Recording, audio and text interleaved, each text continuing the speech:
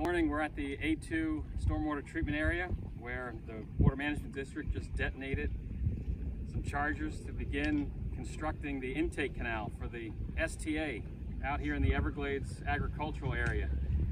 Delighted to be with Drew Bartlett of the South Florida Water Management District, Daniel Andrews from Captains for Clean Water.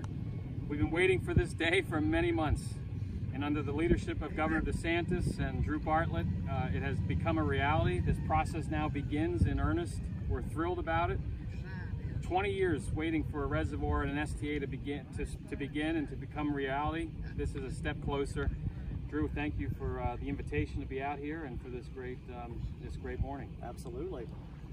We're just really excited to be able to start this project. What you're looking at is the first start of the canal for the stormwater treatment area.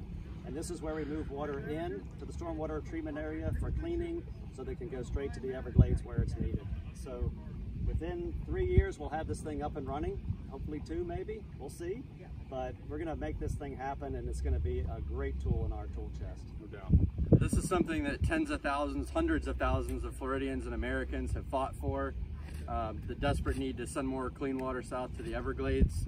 And with this project, the STA side that actually cleans that water, something that the state really took the lead on. The Army Corps is um, doing their thing with the, the, bigger part of the reservoir, but this is something the state could, could get going on right now, get construction going. So thanks for your leadership and leadership of the governor and, and everybody else who's been involved with this project. Florida Bay needs this water and we don't need any more discharges and this is one more step towards that.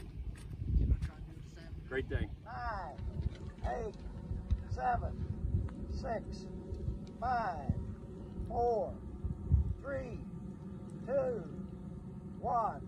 Fire and hold.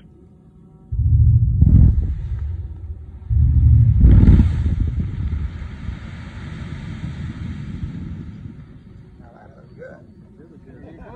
All right. Up and down. Here we go.